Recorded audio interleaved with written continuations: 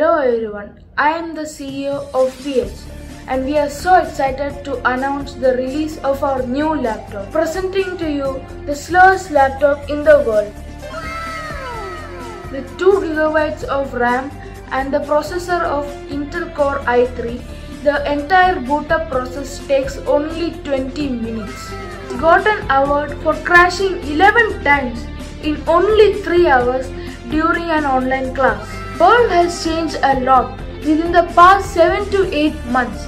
That's why we have added a 0.1 megapixel front facing camera so that your friends and family can see you in cinematic style video calls. Mind blowing, isn't it? Speaking about the battery, it has 50 charge cycles. That means you would only have to change your laptop's battery every 2 years. That's very less, isn't it? Thanks for joining us.